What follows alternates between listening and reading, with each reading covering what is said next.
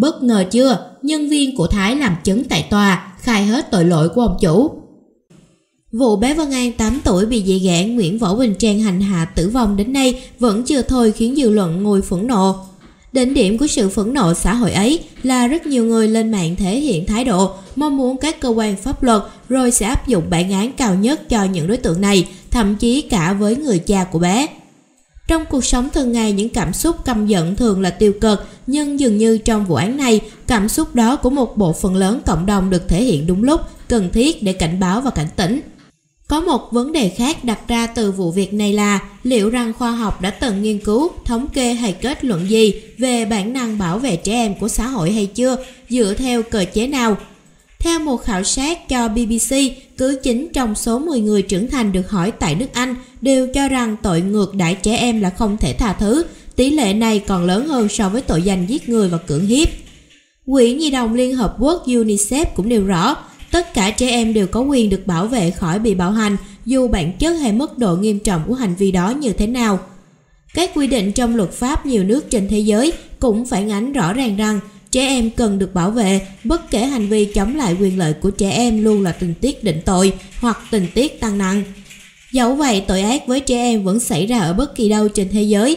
Chúng diễn ra ở mọi quốc gia, ở cả những nơi đáng lẽ trẻ phải được bảo vệ nhiều nhất, đó là ngay tại nhà, trường học và cả trên không gian mạng. Trẻ có thể bị xâm phạm về thể xác, tinh thần hoặc tình dục.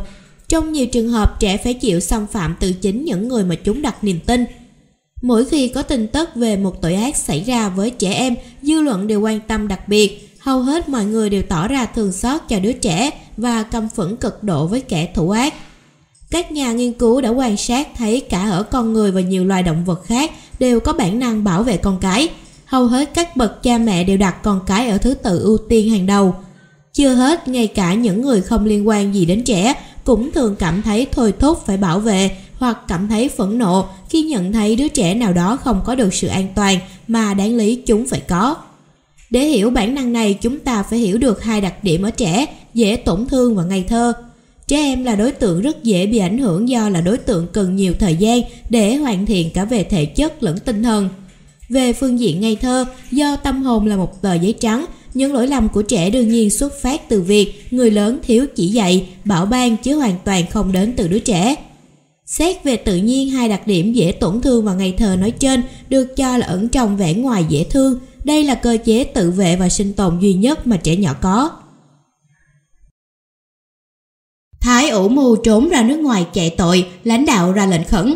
Sau 11 tháng từ ngày xảy ra cái chết của bé Vân An ngày 25 tháng 11 vừa qua, Hội đồng xét xử đã tuyên tử hình đối với Nguyễn Võ Quỳnh Trang về tội giết người. Nguyễn Kim Trung Thái bị tuyên 8 năm tù về tội hành hạ người khác và che giấu tội phạm. Bản án đã tuyên, nhưng trong tôi và tin rằng trong rất nhiều người, nhiều cảm xúc lẫn lộn, dù chỉ là người dân với nạn nhân.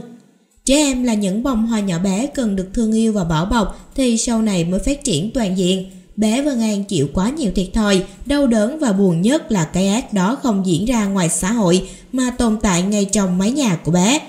Tôi vẫn không thể hiểu nổi tại sao hai con người đều đã lớn, có công ăn việc làm, kỹ năng sống, đều đã hoàn thiện là hành hạ đến chết một đứa trẻ ngây thơ, dễ thương và hiểu chuyện như vậy. Bản án tử hình dành cho người trực tiếp gây ra cái chết cho cháu là một hồi chuông cảnh tỉnh cho tất cả những kẻ nào có ý định xâm hại sức khỏe và tính mạng của trẻ em. Mức án này xứng đáng lắm. Nhưng trong tận đáy lòng tôi thấy xót quá, xót cho bị cáo Trang và xót nhất là cho đấng sinh thành của cô ấy. Ba mẹ sinh con ra nuôi nấng nên người, xinh đẹp và không bị khiếm khuyết chức năng, tật bệnh đã là hơn biết bao người. Chưa báo hiếu gì, giờ nhận bản án tử hình, có nỗi đau nào lớn hơn thế, xót xa hơn thế với bậc làm cha mẹ. Với Thái, tòa tuyên án theo luật định đúng người đúng tội, nhưng với những gì đã xảy ra với con gái của mình thì dường như mức án 8 năm vẫn còn quá nhẹ. Vì sao ư? Vì anh ta đã bóp nát một gia đình, đã không cho các con một mái ấm trọn vẹn vì những thú vui ngoài vợ ngoài chồng. Anh ta có kinh tế ổn định, hoàn toàn không phụ thuộc gì vào nhân tình mà lại để cô ta hành hạ con đến chết. Anh ta đã giành quyền nuôi con nhưng đã không làm hết trách nhiệm, đứng về phía cây ác một thời gian dài, dương mắt nhìn con chết mòn chết mỏi. Cái ác phải bị trừng phạt, người gây nên tội ác phải trả giá bản án nghiêm khắc này sẽ luôn là điều mà cái ác đang luẩn quẩn đầu đó trong xã hội và trong một số ít người phải nhìn thấy hoặc thức tỉnh, chưa đường lui cho người và cho mình. Đặc biệt trong nhà không được tồn tại cái ác, đó là nguồn cơn của mọi đau khổ. Con người sống ở đời cần có lòng nhân, lòng nhân để chở che đùm bọc nhau, để tự tin sống, để xã hội cùng phát triển. Những quy tắc ứng xử xã hội cũng trên nền nhân nghĩa, không có nhân cách thì không thành người. Hãy yêu thương vị tha và bao dung để cuộc đời đẹp hơn, an yên hơn. Đoạn clip mới nhất dì ghẻ Quỳnh Trang trong phòng tim chuẩn bị nhận xác.